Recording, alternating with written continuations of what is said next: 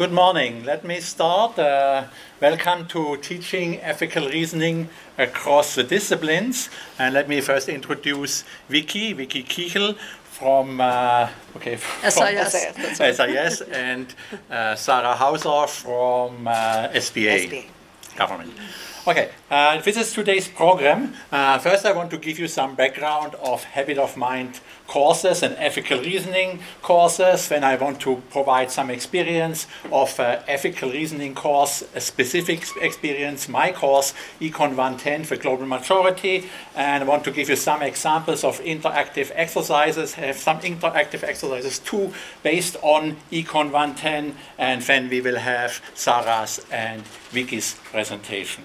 I also we will also have towards the end then question and answers and discussion. But if you have uh, a question right away, which you need to get solved before you can really follow, I'm of course happy to take any question anytime if you know if it doesn't take too long of uh, of answering it. Okay, uh, I have posted uh, some documents. It's not of a Blackboard site, but it's a conference site. And this, is, this PowerPoint is on the conference website. Also, the syllabus of Econ 110 for Global Majority of fall 2018 is on that site. The guidance note for the discussion paper or research paper, uh, the learning outcomes worksheet, which was a requirement to get this course approved to be an ethical reasoning course. I have provided that for those of you who are interested and want to see an example of how I have done it and how it was approved. And then there's a called supporting document, and that's a document uh, which was also required to getting uh, Econ 110 approved to ethical reasoning, and it has uh, information on the assignments, the descriptive paragraphs, the steps the department will take, and major selective prerequisites uh, issues related to Econ 110. Okay, note the deadline if you are interested to submit uh, ethical reasoning course, a proposal is February 15th this year. And let me give you a little bit background on the Habit of Mind courses. Habit of Mind courses, you probably know, are part of a new AU core. The AU core replaces the old previous general education program. And one of the main reasons for revising the Gen Ed program, as you probably know, was that students thought of it as an obstacle, as a requirement that they have to finish before they can focus on their most, their more interesting topic, what they really want to graduate in their major. However, as it actually turned out, the new AU core is actually implies actually more requirements in terms of credit hours than the old general education program. On the other hand, of course, the content is very different, so it's not really anymore. So if it's more credit hours, it is very different structured. So even quantity is more, the quality is also better, and it should not necessarily be seen as an obstacle which they have to take before really getting into their, uh, their, areas and the courses which they want to take for their degree. Uh, for more general information about the AU core, you know, there's a website you can look at, and you know, I'm not waiting now that you copy it down because you search it or just get the PowerPoint, uh, which is on the conference website. There are five habits of minds, as you may know: uh, creative aesthetic inquiry, cultural inquiry, ethical reasoning. It's not outstanding. I just made it blue because it's a topic we cover.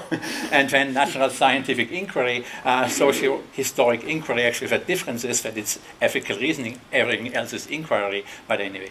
Uh, starting with fall 2018, all the freshmen have to follow the requirements for the new AU core, and all new students have to take habit of mind courses, and they have to take one course for each of these five habits of minds.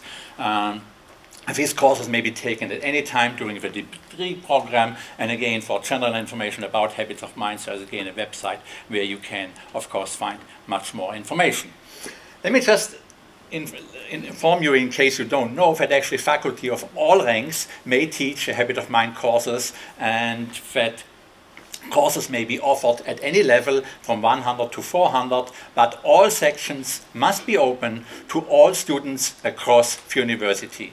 Therefore, it cannot be a major requirement, and uh, courses are, that are major requirements are not eligible to become habit of mind courses. major selectives, however, which are courses that students may take for their major credit, are eligible to become habit of mind courses. Okay. As of December 2018, there were actually 42 courses that had been approved as habit of mind courses.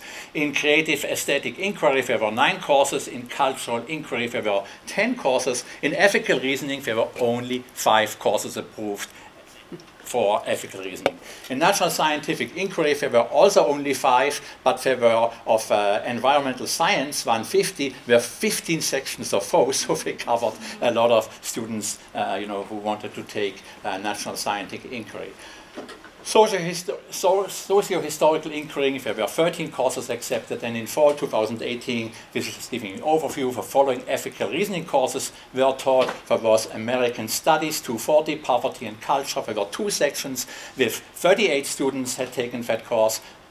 Econ 110 for global majority were also two sections, and I had 68 students in, in those two sections. Uh, philosophy 120, do the right thing, there were nine sections, and they had 164 students taking that. Philosophy 220, moral philosophy, four sections, 77 students, and then in sociology 210, power, privilege, and inequality, there were four sections, and 110 students had taken that. So if you add that all up, that's 457 students in in fall 2018 and recall that all these new students will need to take you know, ethical reasoning courses. So we have a kind of not enough courses offered for all those students who will need to take uh, ethical reasoning at some point while they are here at AU. Let me then now give you, unless you have some important question right now,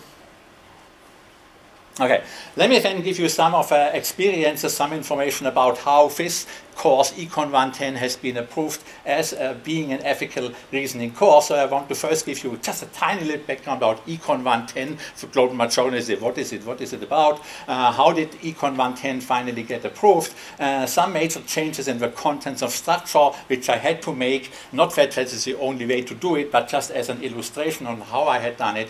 And then again, the learning objectives are important, of course, uh, for ethical reasoning. And I want to not only give you the four learning outcomes, but also how I applied them again. Just an example. It's not like it's a perfect way or the only way, but that as an illustration. Uh, and we also have some examples and some interactive exercises uh, as I teach it in this course. Okay, so some background. First of all, for global majority, may say, what is the global majority? The global majority simply refers to the at least 80% of the world population who live in developing countries. Yeah?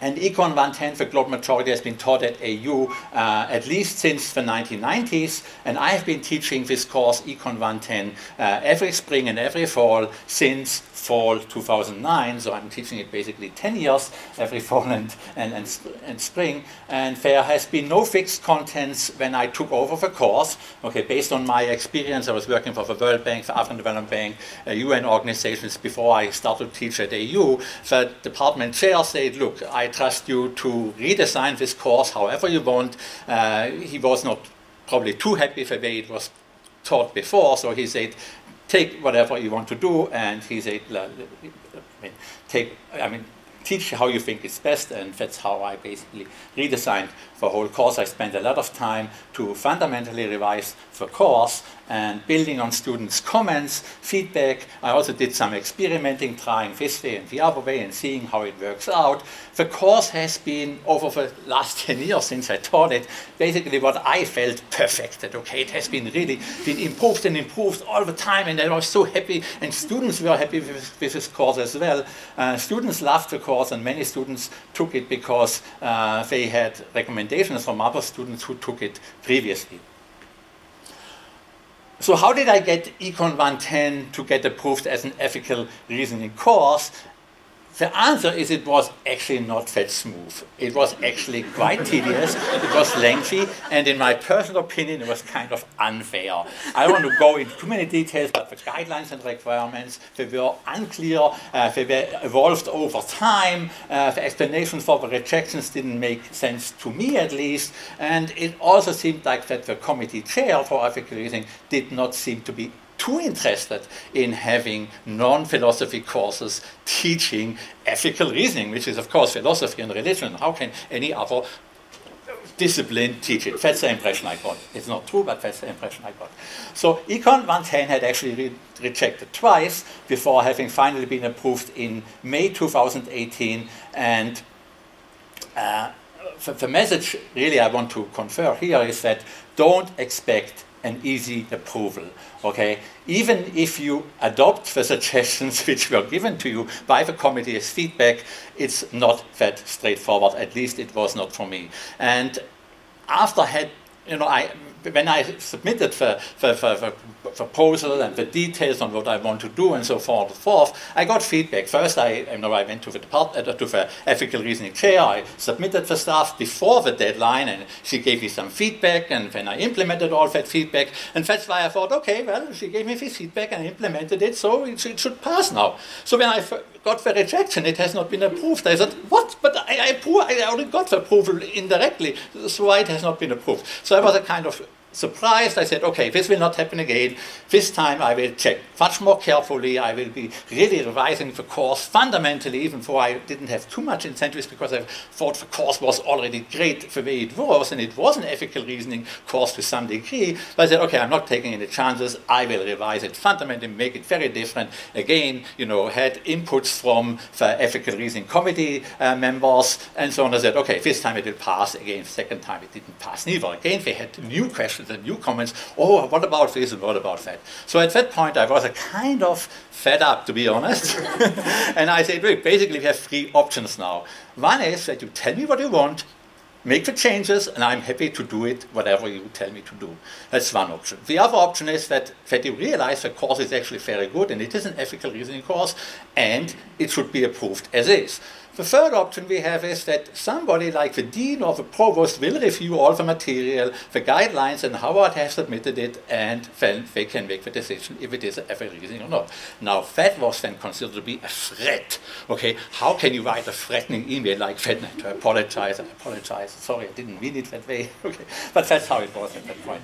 Anyway, the bigger question really is, okay, how much ethical reasoning theoretical concepts do people need to know, do students need to know to make good ethical decisions?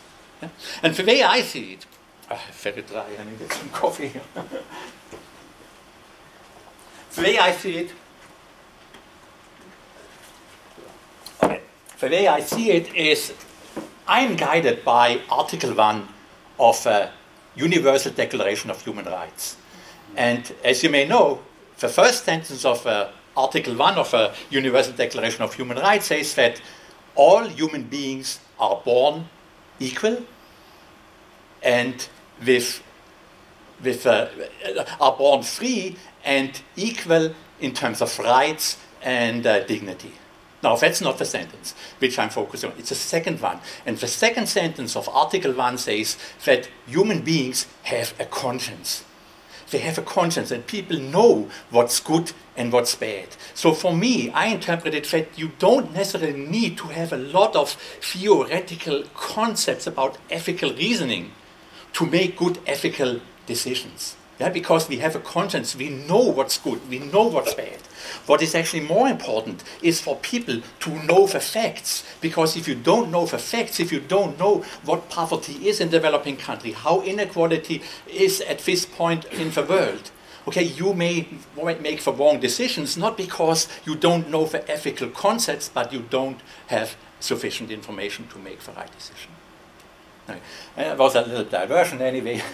so I had to change the contents and the structure of Econ uh, quite a lot. This is how the old version was. Before it was an ethical reasoning course, it had four parts. In the first part I had the key characteristics of a global majority, like that they are poor, that population growth and gender issues, uh, urbanization, all this stuff. Then I had a second part which is specific topics which are determine the lives of a global majority where I covered issues like agriculture, climate change, water scarcity, indebtedness of developing countries, microcredit, that they don't have access to credit.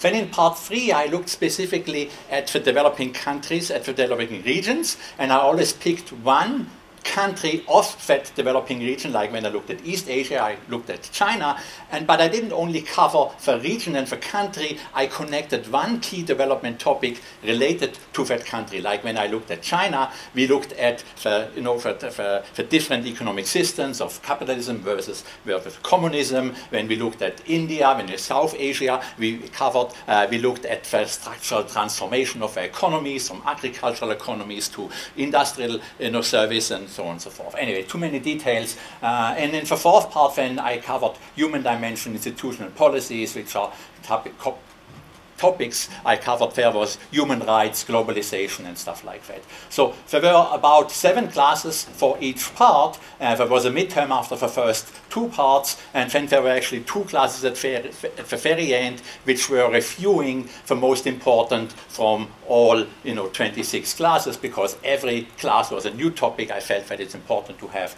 a review before uh, the final exam. Okay, now then I had to change it, and I changed it, as I said, in my view, quite fundamentally, that I had now only two parts, and in the first part I cover the foundations, like the origins and the structures, and covers topics like the development ethics paradigm, ethical frameworks for decision making, human rights, global order, and so on and so forth. And there are about 10 classes, and every class I cover one of those foundations. And in the second part, I have now changed it instead of having one topic per class, I have now two classes for every topic. So there are eight topics which I cover, starting with poverty, inequality, uh, population growth and gender issues, and so on and so forth. And I have two classes for each topic. And the first class is giving students basically the background about poverty, and in the second one I then cover more of the ethical aspects of it. So this is how it has been redesigned and uh, this is how it has finally been approved to be an ethical reasoning course. Okay, now the, the, learning outcomes for ethical reasoning, they are clearly defined, they're mandatory, you basically cannot even change one word in, in those learning outcomes, but of course you need to apply it to your course. And one is, I mean, different sequences, but one is recognize the origins or structures of complex ethical issues, identify and differentiate ethical perspectives or questions. The third one is demonstrate ethical awareness by critically discussing and analyzing moral suppositions. And fourth, apply ethical concepts and framework. And this is how I applied these four learning outcomes to Econ 110. With regards to the first learning outcome, I said, look, in part one of this course and also in the second classes of those in part two, uh, we which we cover those specific eight topics which are important for the global majority, uh, those really provide the foundations and the necessary background, uh, which, you know, recognizing the origins. So that's how I have applied it. First learning outcome and based on required readings, which students have to read and summarize, not all of them, but some of them, before class in reflective summaries, uh, we then derive the origins and existing structures related to global majority in class via class discussions and so on and so forth. There are also biweekly quizzes and a midterm that will reinforce that students grasp these foundations.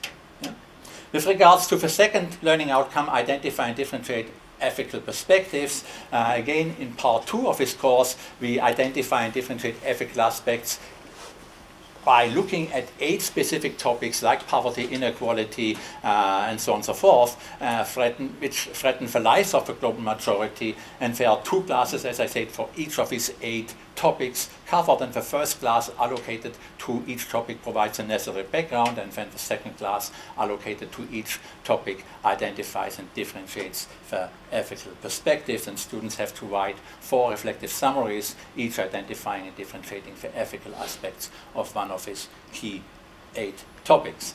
The third one, demonstrate ethical awareness by critically discussing and analyzing moral presuppositions presuppositions, suppositions, presuppositions, okay. Students will demonstrate ethical awareness by critically discussing and analyzing moral presuppositions of some key development issues in part two, basically just from the syllabus, what I have here. A combination of classroom, okay, uh, I'm, okay, I already, well, I have, I have two times 15 minutes. I have, I have 30 minutes for my Okay, oh, I stay, that's fine. Okay, so if the fourth one, let me go a little bit faster. Apply ethical concepts and framework is basically a discussion paper or research paper, whatever you want to call it, where students need to, you know, apply what they basically learned about the ethical concepts and the framework, and they need to apply it to one of the eight topics specifically, and they need to also apply to one developing country specifically. So it's not all like that. Uh, let me just run through some examples and interactive activities. One key ethical question related to poverty uh, in developing countries, not poverty in industrialized countries, is does the global order hurt the poor? And based on the philosophical debates, uh, the answer to this question, among others, based on other more fundamental question, is then related to do the world's resources belong in some possibly rather weak sense to humankind collectively? Yeah? And what I do, uh, I ask them, let's say you own a piece of land, and while drilling for geothermal heating system, you discover a gold mine 500 feet below. Who owns that gold? Okay, and the first idea may get, well, it's my land, but actually that's not true. Unless a piece of land comes with explicit mining rights, okay, that gold actually does not belong to you. Okay, at least in the US, and uh, in Germany it's even something like 10 feet anything below 10 feet doesn't you don't own it. Uh, anyway. And uh, another question you may say you own a piece of land and the national government decided to build on an interstate highway through your land and wants to buy that land for more than fair compensation. Are you required to sell it? Yes or no? So this is issues related to poverty because who owns the resources uh, who owns the fish in international waters? Well okay nobody. Whoever catches them but when you may say, well, is that really fair? I then divide the class into groups of three to discuss, shouldn't those fishermen have to pay something? Maybe to who, if they have to pay something? Should there be some limits on how much fish anybody can fish? Yeah, there actually are some national limits anyway. What about the clim world's climate? Okay, who owns Kenya's climate? Which is getting harmed by greenhouse gas emissions of mostly rich people. It's not the poor people in Kenya who cause climate change, it's the rich people in industrialized countries. Yeah? And they destroy the climate, of course, globally, but especially the poorest people in the developing countries, in the poorest countries, are the most vulnerable to climate change. And there's no compensation, really. Uh, this is what I thought as an exercise, but we really don't have the time for it anymore. Uh, let's look at Qatar. We could have looked at Qatar and looked at it. Uh, there are 300,000 people, and they own 0.05% of the world's. That's 0.005% uh, of the population, but with 0.005% of the world population, they own about 1% of the world's oil and natural gas resources. Yeah? Resulting in average income per capita of about $100,000 per person. That's the average. It's not like just the rich, no, it's the average. So we could have made four groups and we could have discussed, you know, does Qatar have a social, if not a legal, but at least a social obligation to share its wealth? Okay, you might consider verifications I'm not going through, and we could have discussed that in five minutes. Uh, with regards to inequality, in the first class I cover, I cover inequality more of a factual stuff. I also covered how different philosophers have reached different conclusions about the de desirability of inequality, and then I look specifically at two, and I don't have the time to go through this all, but anyway, uh, then I ask students to make groups and discuss if they agree with Rawls, or if they agree with the libertarians, or if they disagree with both. Uh, let me just give you a little bit background on inequality, uh, like I do to them. What is a centibillionaire? I ask them, and a centibillionaire, they say, yeah, it's a, billion, it's a, it's a person who has net worth more than 100 billion. Yeah? That would be a centibillionaire. And say, well, there's probably no such person in the world who has more than 100 billion. Actually, no, there is. There is. And he's currently a lot in the news. He's the world's richest person in the world, and he owns 112 billion dollar in 2018. Yeah? Now, as of 2016, just to give you a contrast and give students a contrast, the top 1% of the world's richest people, they own as much as 99% the rest of the world. And a handful of billionaires, this is what Bernie Sanders always points out, but it's not really coming from him. Uh, he points out that a handful of billionaires, they own more than half of the world population. Okay, I'm wrapping up. Uh, some background in inequality, again, you know, I have a lot of details, which is informative for them that inequality is not necessarily bad. Inequality can be seen as an incentive to work hard and so on and so forth. But the way inequality has evolved over time, there are more and more people who come to the conclusion that the inequality to this level, what we have about inequality, is actually harming growth. It's no more helping growth. So then, uh, you know, looking again, have some discussion, discussions about it. And the last thing I could have looked at, actually still have two minutes, uh, is trade and ethics, which is the eighth topic, uh, eighth topic. Um, which I cover, and you know I go to some of the background why trade is important, why economists think trade is important, and uh, uh, how can trade be unethical? And there are you know various people who thought about it. Let me just give you one example. The first type, which is a kind of obvious one, like you know trade in in, in, human uh, body parts, or you know if people go for sex tourism to Thailand and child prostitution. That's trade in services. Yeah, that's probably most people would not consider that to be ethical. Uh, and there are many other examples, which again I'm not going through.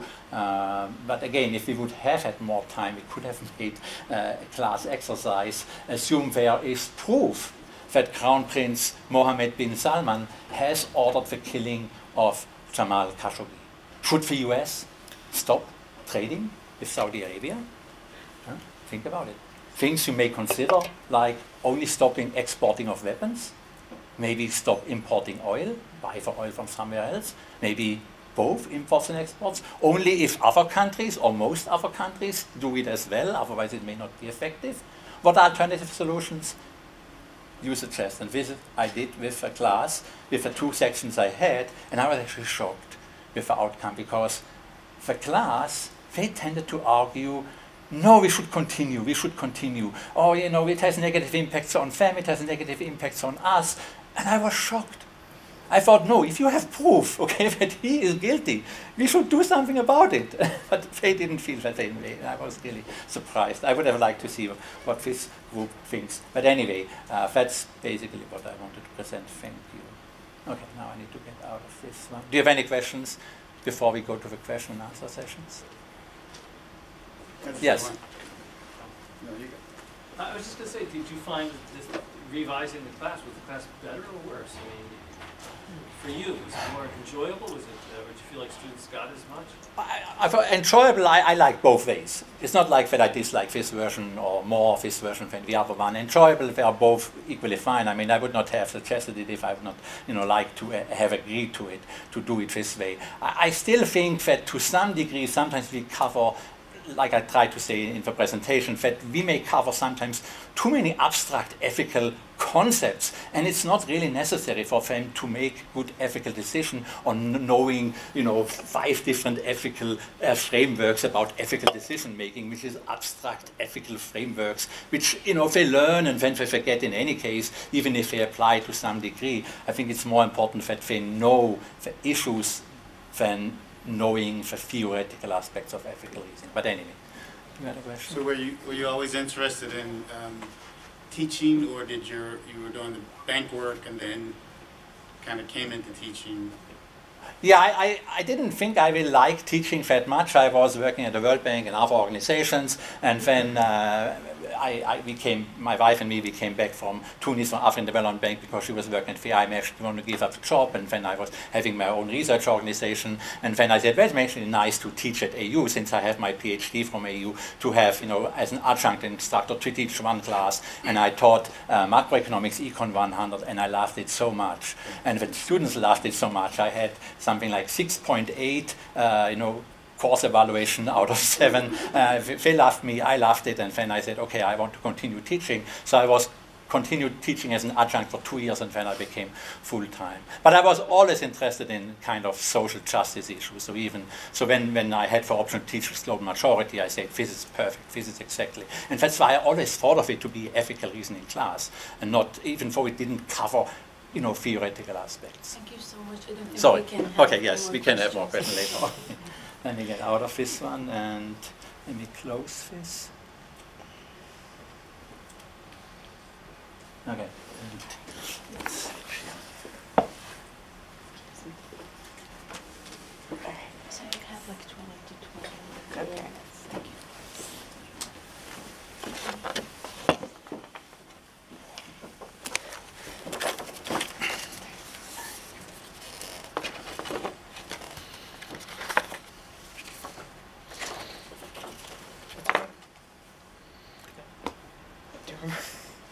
I can't get it to. Oh, yeah. Can you get help? Yeah, sorry. Can you Help me here. It's open right now. Ah, okay. Just the error for. Yeah. Okay, so hi, I'm Sarah Hauser. Uh, I teach in SPA and in the government department. And so, uh, full disclosure, I am a political scientist, but I do political theory, so I'm more sort of naturally oriented towards uh, philosophy and things of that nature. Um, philosophers would say I'm not a philosopher, political scientists say I'm not a political scientist, so I'm something in the middle, you know. Um, but that makes this sort of task a little um, more uh, what I normally do. Um, and so that makes uh, developing a course, which I did for, um, uh, that was recently approved uh, for the ethical reasoning, um, something more closer to what I, I normally teach. And uh, secondly, that I am also on the ethical reasoning subcommittee. Uh, the the infamous subcommittee, and uh, part of the uh, reason why we want to do this is so that we can obviously smooth out this process by which courses get approved. Um, so I wanted, and the part of the reason I think why this, um, you know, uh, confusion happens is because the learning outcomes, as we all know, are vague, right? And they're sort of intentionally vague in a number of different ways. Um, and I think what matters most is perhaps defining how, making clear to the committee how it is that you understand the meanings of the words and the learning outcomes. And that's probably what I'm going to be uh, talking most about. But I guess there would be two major points um, that I want to make before I get into the details of the learning outcomes. Um, and this is, has to do with the expectations of what ethical reasoning is um, in the in the view of the committee, and how we can um, well, sorry, how it might be different from the way in which some people normally think about ethics. So when people teach ethics classes. Um, uh, or when we talk about ethical and unethical behavior, this is sometimes understood in terms of compliance. Um, that is, there's a set of rules or principles, like the code of conduct that's put forward by um, certain organizations, like the American Bar Association or the American Medical Association. And then the ethical question is are you complying with this set of rules or are you not complying with this set of rules? And so then, according to these codes, certain behaviors can be understood and clearly categorized as ethical or unethical. Um, these codes of conduct can certainly be a part of and be taught in some ethical reasoning courses, but it's not primarily what ethical reasoning as a habit of mind involves. Um, because what it involves is um, an assumption that ethics is not necessarily one thing, or that the claim of what's ethical and unethical is not obvious. It's something that has to be questioned. It's something that what we want the students uh, to challenge their currently existing ethical beliefs, to identify them, and to question them. So um, it's not obvious from the beginning what um, the requirements of ethics are. And so, for example, we had a business ethics course that was, um, um, which was approved this past semester. Was it, Vicki? Yeah.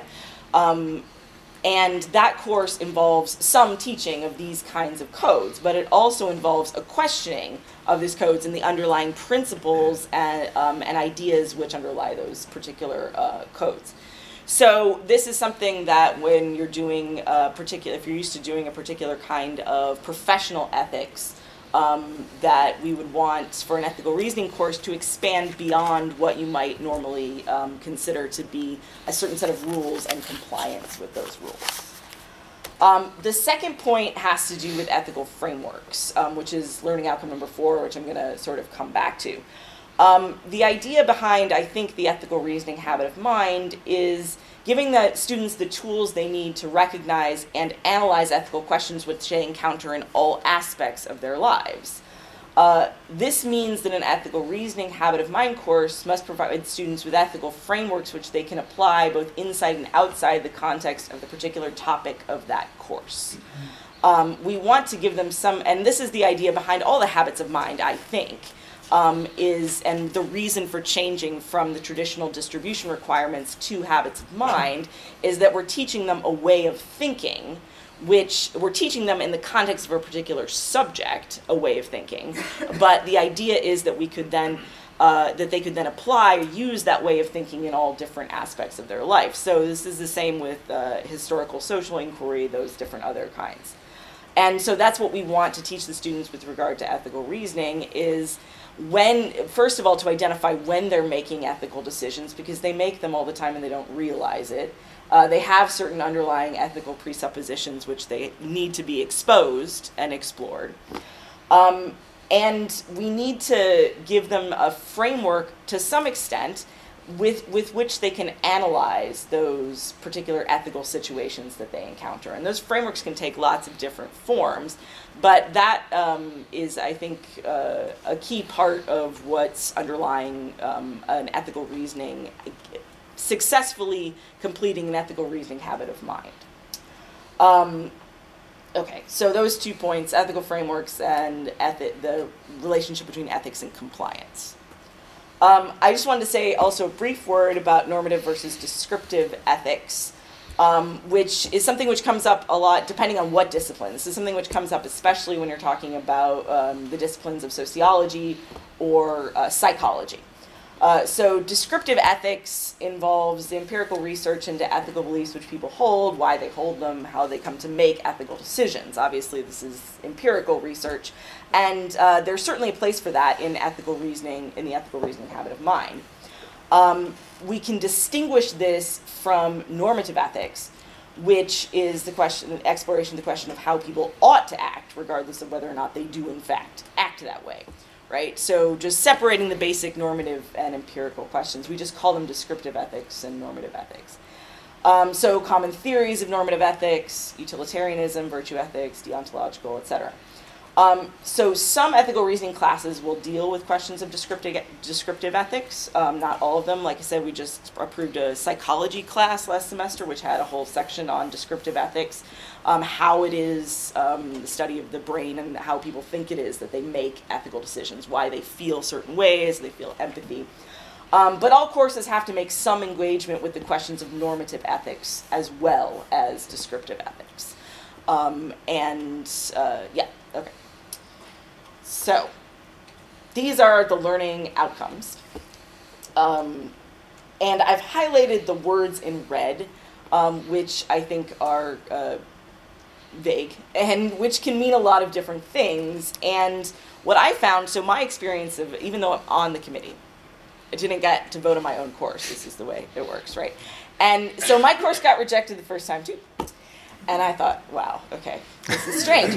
um, but I think it was, uh, it forced me to make some changes to the course, which I think have made it a lot better of a course. But what I realized was um, it's very hard to tell from just from a syllabus and even from the kind of uh, narrative statement that I had to give what it was that I was thinking when I read these learning outcomes. And so what I did was, and when I resubmitted it, the first version of the course was um, called the Quest for Justice. And it was sort of a general justice-oriented course with different topics. Um, and in the second version, I narrowed it down to the question of justice and citizenship. Um, and what I did then was go through the assignments that I had um, and show what the, I thought those different words meant in terms of the assignments that I was giving. So this is just my brief uh, course description. Excuse me. Uh, which basically there are two basic uh, theoretical models of citizenship within the history of political thought, the liberal model and the Republican model and they have representatives both in classical political theory and in contemporary. And so basically, the first half of the semester, I examine the liberal versus um, versus uh, uh, Republican models of citizenship, and then in the second half of the semester, I just problematize those with questions of gender, race, and nationality. Um, so, what I did when I was making up my assignments was to say what I thought, like I said, these different ethical perspectives were. So perspectives or questions can mean a lot of things. So when I wrote my midterm exam, I'm normally on a syllabus, I would only put the first part, right? That's um, the unitalicized part. But when I was writing a proposal, I had to explain what sort of my thinking was. So I said the purpose of the midterm exam is primarily to test the students' understanding of the two models of citizenship. These two models constitute two different ethical perspectives between which the students must differentiate um, and thus is meant to test their progress towards the completion of learning outcome one. Um, so basically, ethical perspectives can mean a lot of things. For the purposes of this course, I was looking at the two different ethical perspectives on the question of citizenship the Republican model versus the liberal model. Um, and those were the two that needed to be differentiated. Um, okay, so moral presuppositions. The second learning outcome involves getting people to uh, questioning, teaching students how to question moral presuppositions.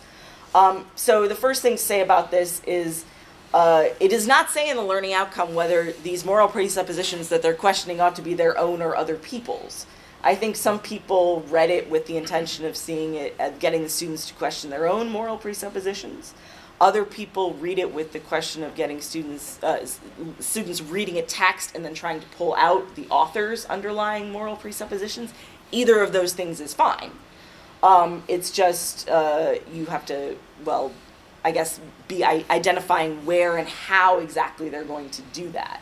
So with the first paper. Um, in the first reading, we uh, uh, reread uh, Socrates in the Apology and Martin Luther King's letter from Birmingham jail. And so the first paper is describe your understanding of what it means to be a good citizen. Is there necessarily a tension between being a good human being and being a good citizen? Are Martin Luther King and Socrates good or bad citizens according to your definition? So my way of looking at this was in part to introduce the idea of, of citizenship as an ethical question um, but then to get this is my way of getting them to pull out in the very beginning of the course their own underlying moral presuppositions about what it means to be a good citizen. Um, and so that's specifically what this assignment is meant to test. So, and I and I showed and I said that specifically in my description of the assignment. Um, okay. Uh, origins and structures depending on what kind of course you're used to teaching, you're going to have uh, greater trouble with one or the other of these learning outcomes. Uh, origins and structures is less what I normally do, so um, those two things obviously can mean a lot. Uh, this is their second paper, describe and explain how the historical oppression of women and minorities complicates and challenges both the liberal and Republican models of citizenship. Um, so basically, uh, you're taking a theoretical model of citizenship and you're trying to apply it to a case in which you have certain historical circumstances um, of oppression which have created the situation in which we now ask this ethical question. So that origins and structures means looking at the way in which those uh, problems have come to be, how we've gotten to um, the place where we're needing to ask this ethical question, and how that might change our theoretical approach to the ethical question by looking at those origins and the structural structures within society that affect that might affect the answer. So this is really a sort of coming together of theory and practice kind of uh, question that they're doing in this therapy. Uh, frameworks or concepts is the final learning outcome. So my take-home final thing um, is I asked them to write an essay in an increasingly globalized world, the liberal and Republican models of citizenship are no longer applicable and should be replaced with a cosmopolitan model of citizenship. That's the question. They have to agree or disagree with that statement. And I see this final exam as testing all four of the learning outcomes in some sense. So that's what I did was I went and said exactly how I saw that as being the case. Uh, the students must identify and differentiate the ethical perspective of the immigrant or potential immigrant. That's the first thing they must articulate their own understanding of what a good citizen is, so that's the second learning outcome. They must describe how the context of globalization complicates the question of citizenship, that's the third origins and structures learning outcome. And they must apply their own understanding of good citizenship to the ethical dilemmas posed by living in a globalized world. That's the fourth learning outcome. That's the application section. So obviously, your assignments can um, uh, and should hit on uh, more than one of the learning outcomes. Um, basically, I think it comes down to just revealing what your thinking is behind each of the assignments and how specifically you see that assignment reflected in the learning outcomes. And I'm making a lot of emphasis on assignments, and I think that's important um, because uh, the assignments, I'm not going to say the assignments matter more than the content. That's not quite it. But um, in terms of meeting the learning outcomes, there has to be an assignment which shows the student's progress towards each one of the learning outcomes. And it has to be clear how that exactly is happening. Um, and you know, just like when students write papers and their reasoning is clear in their own head and it's not clear in the paper, we all have that experience of reading students' papers. I found that when I wrote my syllabus, it was very clear in my head, but even my colleagues on the committee, it wasn't clear. I wasn't making it clear how I was thinking about these things. Um, so uh, that's why I went through and I actually quoted words from the you know uh, learning outcomes and says these are the ethical perspectives I'm trying to differentiate these are the framework, this is the framework that I'm talking about here. Um, and if that's done, then you can uh, do, do this with lots and lots of different kinds of content. Sorry, excuse me. Um, I think that's all I have specifically for my presentation. Um, does anyone have any questions right now? Or we can go into Vicki's, yes? I, for me, it looks like the issue is, is going to be with the course assessment. Yes. How, how are you going to assess the course? And are you going to use rubrics? For me as a student, not as, as a professor, as a student who came to your class. For example, I came to Ben class, Uh-huh. and um, I am a Republican student. Uh-huh. And I don't believe in climate change at all. That is my ethics. Mm-hmm. Can I use that? And how are you going to assess me and my ethics in your course? Compared to other students who will be radically different from me. How are you going to assess that? There is no, my, my understanding, there is no one ethics. The ethics here and in Europe and in China is different and it's based on the culture of the student, it's based on, and if, if you talk, especially if you teach in this course as a global Mm-hmm. course. Yeah, so I think that uh, it doesn't matter what the students' own sort of ethical positions are. They are evaluated on the question of whether or not they should still be able to apply an ethical framework, even if it isn't their own. That would be my first uh, response to that. Is that that's what you're teaching them how to do, um, in one sense, is to apply a certain ethical theory to a certain set of facts. Um, the other thing is that um, the students have to be encouraged to examine their own ethical positions, whatever they might be, um, they, and to expose them and, ex- and examine them. And I don't think that we're necessarily thinking I, I want students to come to any particular ethical conclusion. That wouldn't be um, the right answer. It, the idea would be that we want them to be able to think in an ethical manner, in a coherent, logical and clearly applied manner. And most students have a set of ethical beliefs that are not coherent and not logical. We all know this. And so, what we want to try to encourage them to do is to try to develop a set of ethical beliefs which are more coherent for themselves. But I'm not, no professor, I think, uh, should be requiring any sort of them to come to any kind of ethical conclusions. I mean, the question was, are you using rubrics in your courses? How you, how you prove to me that this course qualify for ethical reasoning? Mm-hmm. How you assess that? Well, does it uh, does it um, fulfill the learning out? Does it have um, assignments that fulfill the learning outcomes? Is like the first sort of big uh, one, and is it teaching students the general sort of theory of ethical, uh, the idea of ethical reasoning? That is that they should be able to take an ethical, uh, you know, create an ethical theory, take it and apply it in a certain place. So the rubric is the learning outcomes. But like I said, um, the learning outcomes can be a bit vague, and we're open to lots of different interpretations of learning outcomes. We just want to know what yours is. I think that's the basic idea. Yes. Hi. Um, so I teach the sociology class, Power, Privilege, and. Inequality. It's an ethical reasoning course.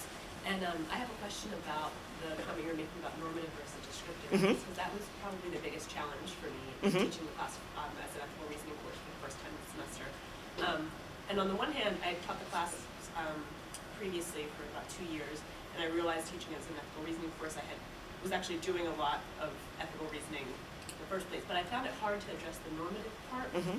Without pulling in a lot of readings from philosophy. Mhm. And I know in talking to the committee and the committee chair that that wasn't necessarily expected, but it was really hard to do it without that because sociology doesn't really, you know, have a lot of these ethical frameworks, it, it, the empirical evidence that sociologists produce helps to Mhm. inform people's ethical stances. But um, so I don't know, it, it, is that really something that's expected or um, you know, it, it- that that was probably the biggest challenge for me, especially because I tried to lay that out in the beginning of the semester. Finding readings was a challenge, Mhm. um, and then um, also because it was sort of out of my um, discipline, it was a, it was a lot of prep. Um, Yes. In the, in the beginning of the semester. It is. I mean, I think that um, you know that there have to be some kinds of normative ethical frameworks. I think in order to teach ethical reasoning adequately, um, we're having a um, faculty, we're having a faculty development um, workshops and things like that to help people with this. Um, and it just depends, I think, a lot on your level of comfort. Um, no one's expecting, you know, that you have to uh, sort of, you know, read all of Kant or something like that in order to teach uh, teach this. But there has to be some engagement with normative ethics, and if that's not something that is um, of uh, if you're that you're not comfortable with at all, um, then I think that this is um, going to be pretty difficult for you. But and it, there will be sort of uh, more prep. But we're we're really focusing on trying to help faculty with that and get faculty, uh, and that's why we're running this faculty development workshop this semester, and we will be doing uh, it further. Yeah, and so just one more thing, so I went to the first session of that, and it was really helpful, but it might just be helpful, I, I don't think that was clear to me when I was proposing, um, that, that was really, because it was more like, no, you can just, you know, engage with your discipline, and I found that really, like, I did have to bring in a lot of, not a lot, but I a good amount of, um, philosophical thinking, so I think it would be helpful up front. you know. Yeah, I mean, there's there's normative frameworks within different Right. disciplines, right? Um, and so it's not necessarily just philosophy, but it is theory, right? I mean, a normative framework is going to be a theory. That's what, yeah. Thank you so much. Oh, you. We need you're to- right. yeah. I'll continue some of these things. Yes. Um, Let's see, transfer is how? Sarah, do you figure out how to do that? First close. So just something. close it, Close. yeah. Not Too good with trackpads. No. Yep. Again, Close it again. Okay, you are. That's me. That's you. what is it? And it's, it's this thing here for me. Oh, I see it, the teacup. Yes, there it goes. Okay. Okay, all right. So I'm Vicki. Um, I'll tr- try to condense into about 10 minutes, leave time for more questions, general questions. But I'm the sort of come hither presenter. We want you to do this.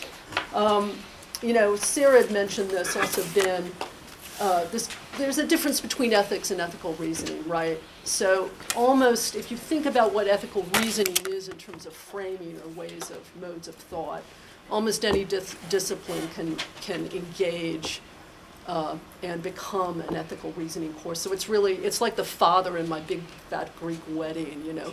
Give me a word and I'll show you how the root of the word is Greek. You know, give me a course and I can show you how your course can be a habits of mind ethical reasoning course, and I'm serious about that. The other thing to this question about normative ethics, you know, this is, I would argue, really an imaginative pursuit also and a creative one. And it is up, I think, to us if we're struggling with these issues, is to find sources other than in just strictly philosophy to rely on. And we'll look at in. I'll show you some other course descriptions from other universities, um, and we'll see if there's anything that kind of piques your interest. Um, so benefits. I also want. There are benefits. Um, yeah, our students need it. Our society needs it. Um, you know, it will enhance. You know, the rigor and imaginativeness of your own courses and scholarship. I think that's a huge benefit. Um, and then this question that Ben had raised, you get to teach all kinds of students across AU if you do this, and that is great. I taught my first complex problems course, and that was a huge benefit and fun. Um, so you get outside your silo. Um, and yes, if you base your teaching on discussion in these case study exercises, um, where you ask students to activate their learning through these exercises, your sets, your, your evaluations do improve, I think. And then if you're term faculty, if you're adjunct faculty, you have this job security issue, right? So if you're teaching in the core, all hail the core, that is like an argument for retaining you. So, you know, come on, teach this. Um, so who's, who's teaching ethical reasoning? I put up the Weston book, Elon, Great Quaker Institution, um, Quakerism, the last mystical religion maybe uh, in American life. But anyway, we use this in the, the you know, sort of uh, exploratory committee. Um, so let's look at what we can learn from other examples here. Stanford and Duke do a lot of these courses. They have requirements as we now do. Um, my, this is, the last little sub-bullet is anecdotal. The balance of courses is, are taught by non-philosophers. I'm, I'm an architect teaching in the global, and proudly teaching the global environmental politics program at SIS. I'm not a philosopher uh, of the obvious kind, maybe. But um, anyway, in my research about, you know, who's teaching it, where these courses live, it's non-philosophers teaching it. So here are some examples. One of my favorites, Shakespeare, the Ethical Challenge. So, you know, have a look at the course description. I mean, it's, it's fascinating. You know, can we divorce ethical decisions from the contingencies of experience? That's like so embodies Shakespeare and Shakespearean plays and often the kind of crux of the plays. You know, we'll ask a series of normative ethical questions to do with pleasure, power, old age, sacrifice, and truth telling. And attempt to answer them in relation to the dramatic situation of Shakespeare's characters. Anyone here from literature, comp lit, or English? Ah, yay! okay. Another example, literature and global health. I mean, again, this is perhaps when you think about, uh, you know, coming into this from the point of view of more um, maybe usual um, um, disciplines to, to teach ethical reasoning, I think global health is, is more of an obvious one. But the linkage in this case between literature and global health, I think is unusual and quite powerful. And um, you know the fact that the I did not know the editor in chief of the Lancet uh, had a call for a literature of global health. I'm going to milk that for all it's worth in my gateway course in environmental sustainability and global health. But you can see the variety of authors that they're using um, here. Everybody from you know Fanon, Pedagogy of the Oppressed to Paul Farmer and his you know sort of work in Haiti and. Another example. Complit Middle East 2, looking at the idea of two ethical pathways, mysticism and rationality. I put up, this is uh, Avicenna, uh, who was a Persian philosopher. I forget what his actual Persian name is, but Ibn Sina. thank you. Excellent. Um, you know, really interesting kind of polymath. Um, so, you know, that's an interesting sort of way into this subject. What would we do differently today? Again, kind of this uh, idea of calling on students to think about this activated. You know, we certainly organize knowledge differently, but do we think about ethics in the same way? Moving on. This is more typical, um, living more within the sort of straight philosophical realm, but this course, as I recall it when I you know, took it off uh, this university website, is not one offered to philosophy students, but rather to other students. So I loved its questions.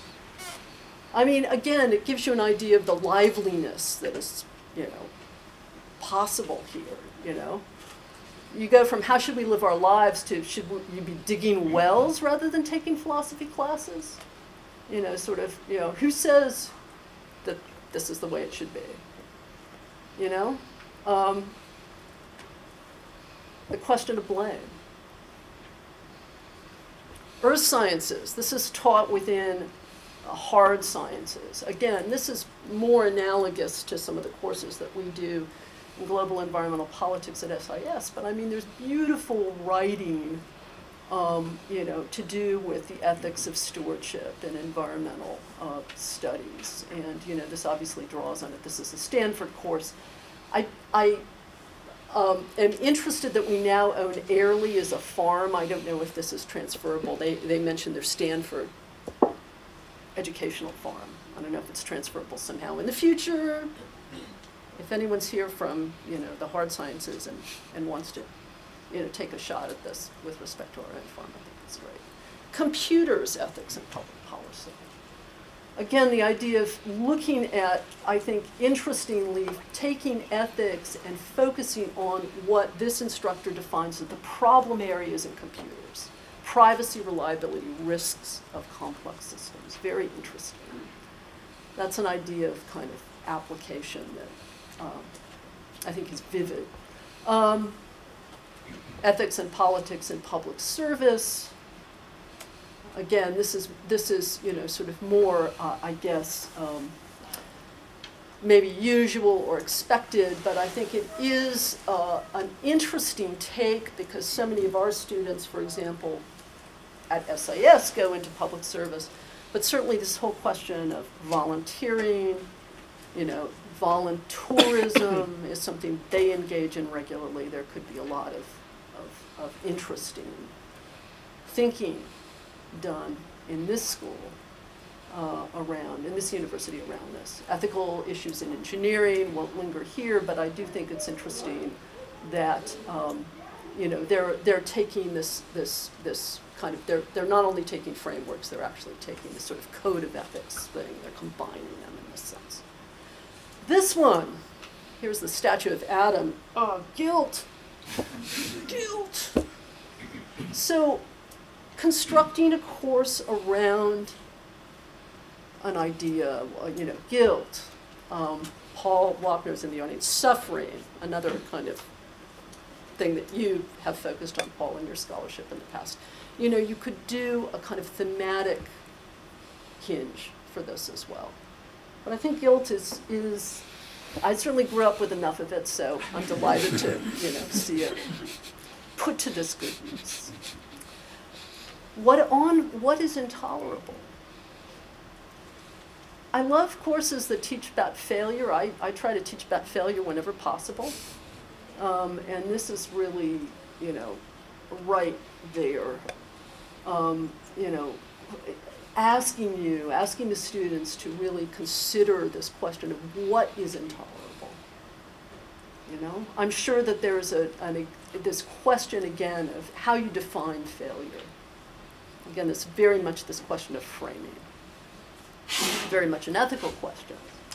We have the business school, not this business school, but um, this I found interesting because um, they clearly offer guest speakers on a variety of topics. I mean, this is, would be another way to um, construct a habits of mind ethical reasoning course here, is to really base it around guest speakers. How fun for you and how fun for them.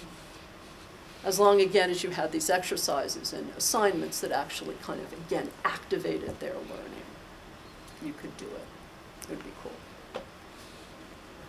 Arts, anyone from Katzen?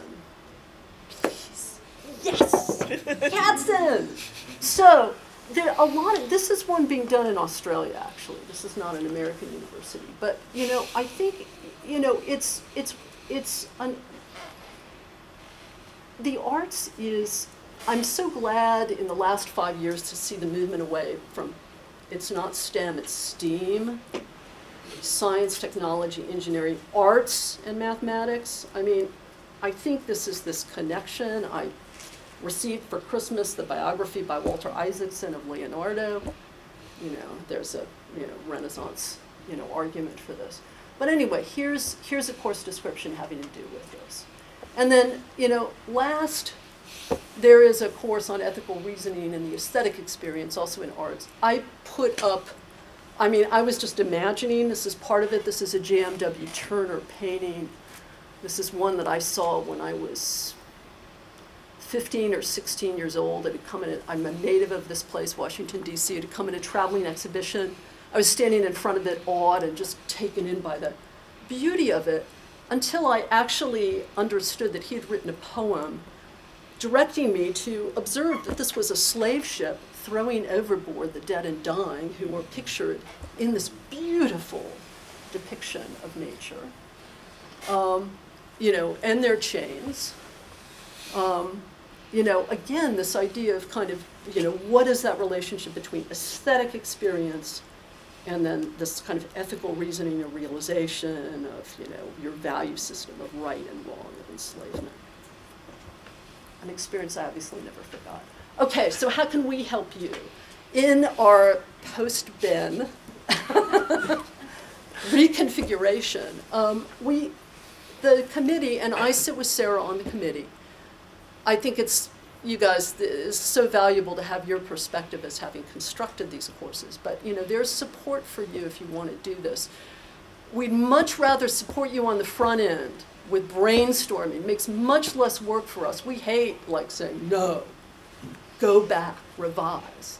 We can help you with brainstorming. Uh, we can help you with, you know, your course development support, with pre-review, and of course with revisions.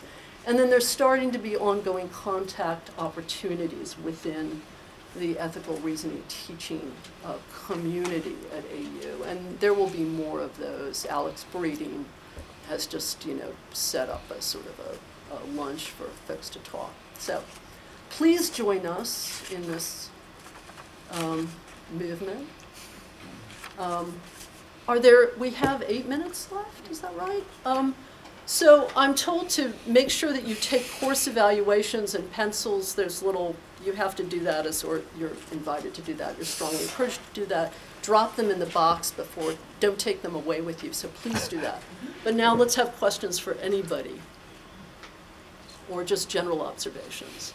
Yeah, my question is about the readings in the syllabus before and after, and how how big transformation it is, like how,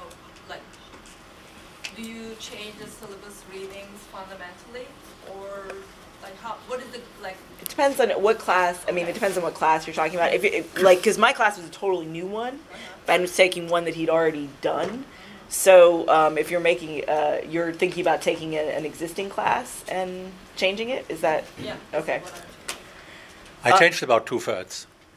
I kept one third and two thirds I changed because I couldn't cover all the other topics anymore. So the first whole first part is all, you know, philosophical aspects of, of uh, you know, poverty, inequality, and, and, stuff like that. Basically, the foundations of ethics, which I cover, and that's that's I didn't never taught before. And then in the second part, when I have always two classes, the first is again is what I had before, but the second is then applying these ethical aspects to that specific topic, which is also again a new reading typically. Yeah, it doesn't mean, have to be that extensive. I don't know. uh, I'm Jessica Waters. I work closely with the Almighty Core. Um, so a question for you, and particularly um, to Ben. One of the things that we have struggled with is getting faculty to, um, as you pointed out, engage early on so the process is not painful. So we've been trying to come up with, you know, what can we do to, for example, should we put on two-day workshops where faculty come for two days and they sit down with the committee and they work through their syllabus and they work through the course proposal. There's a guarantee at the end of those two days that their course is going to be improved, you know, provided they have engaged in good faith. Um, and we've gotten mixed reactions to that. We've had some people say, no, I'm not giving you a day of my time or two days of my time. Other people have said that would be great because then I don't have this painful back and forth process and we have this collaborative effort at the same time. So I'm curious, as someone who um, has been critical of the process, whether something like that would have been um, interesting to you, or whether you think it's something we should pursue. I think it would have been interesting. I mean, for me, the issue was that I, I, I shared what I proposed before finally submitting it. And then I got some feedback, and I thought I have implemented that feedback, and I still get a rejection. And then I thought, okay, that happens twice, but not a second time. And second time it still happened. So I just didn't know what they want. I really didn't know what they want, and I really had the feeling that you're just discriminating because it's not philosophy. That's, I mean, it's probably not true, but that's really the impression I got. So I think it would be useful to have some kind of workshop explaining to potential faculty who wants to teach this course on what we really, how we, and it may be, as he said, you know, I mean, Sarah said that in the syllabus, it just didn't come across what I had in mind. It was not like that. It probably was not fair. It was fair, and for me it was glass clear, but for them it was not clear at So all. that's why I'm wondering if we Yeah. had some, you know, you give us a day of your time, we sit down and do this. Yeah, I would do that, admittedly. we Get rid of some of this back and forth, but, you know, allow for it. And I think each of you have said in some way that the course became a better course or a more interesting course in some way. Um, so if we're able to, to do that in a way that is, um, easier for faculty and respectful of their time, Yeah. would be helpful. I mean, if you don't know what to do and you just get rejected, then you say, I don't know what to do anymore. What do they want? you know, that the workshop is definitely much more helpful. And I don't think that two days spending, because all the revisions and uh, formulating and writing up, it's much more than two days. So I don't think that two days is an issue at all. We'll look for you to be an ambassador. okay. Um, I have two interrelated questions, and I'm I'm trying to resist the temptation to make this into an ethics course myself. But did the committee or did any of you think about uh, whether the structure of the requirements is reinforcing a cultural standard of ethics in itself? In other words, like, Dr. Gunter, you mentioned something like the, I think you said something like the structure of ethics. And I thought a lot about that, like the unexamined intellectual assumptions that we make that lead into that. Um, for instance, right, like I think of the issue of honor killings, which I have friends who work that issue. I mean, the ethical problem of honor killings assumes that the rights of an individual supersede the rights of a tribe or a family, right? Or it's, and it assumes that um, honor is a subsidiary value to, for instance, freedom or life. So I just wonder if there's a discussion Oh, sorry, in the, in the committee? In, in the committee or in the formulation of the course, do you, like, how, how deep do you dig to try to understand whether the questions you're asking are in fact reinforcing a particular paradigm? I, I mean, I think that you're invited to, to definitely, that would be a question that I would ask if I was teaching that subject. Um, that, you know, uh, it's not obvious, uh, so we think of it as a problem, but from what perspective are we thinking of it as a problem, right? We're thinking of it as a problem because we're looking at it in terms of human, the, uh, from the point of view of individual rights. And if you look at it from a more, uh, you know, communitarian way of um, of ethics, then it would be completely different. So I would think that that would be something that you would definitely examine when you examine uh, that question to in order to give it a full exploration. Um, I'm not sure if that really answers your question. It's a tough question. I mean, I'm not going into into too many details, but I always try to emphasize that there are there is not one correct way, okay, to, to approach an issue like climate change, okay, that it is different interests and there is a conflict of interests and which one finally you know overwhelms and, and gets through that's not necessarily that clear based on ethical issues It's kind of epistemological question, yeah hmm. How do you even You don't have to settle the epistemological No, no, no, question when you're teaching I- the I class, right? I mean, but, like, you almost have to accept the definition of certain words to include the words in the requirements which go into the syllabus. Like individual, for Yeah. instance. Yeah. right? That's- Except there's such a thing as an individual. yeah, I think that's Yeah. unavoidable. Yeah. Yeah. So, yes.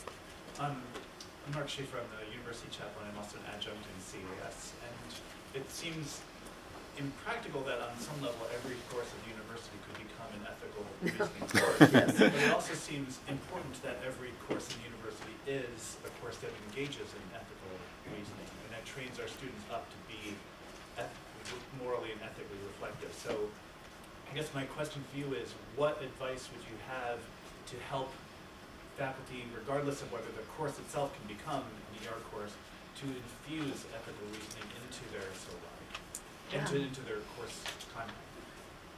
That's a great charge. That's more of a charge to us to do that, I think. I, I don't know that we can answer that right now, but I think that's, that's excellent, you know. Um, We I should, think yeah, trying to encourage them to, uh, you know, be systematic in their ethical reasoning in anything that they sort of think about it is the best way to get them to answer those questions. Because when we have students debates um, about topics, that they can be kind of a free for all, you know, like, and uh, this is my view and that's my view, and just assertion and counter assertion. So anything you can do to get them to sort of try to formulate some sort of coherent uh, thought process when they're talking about ethical questions is what I always try to do. If, uh, do we have an onboarding process for faculty that's consistent across the disciplines here? I mean, I'm not sure that we do. That would be a place to try to reinforce this. I mean, we don't have an orientation for us like our undergrads do, I assume. I mean, I didn't.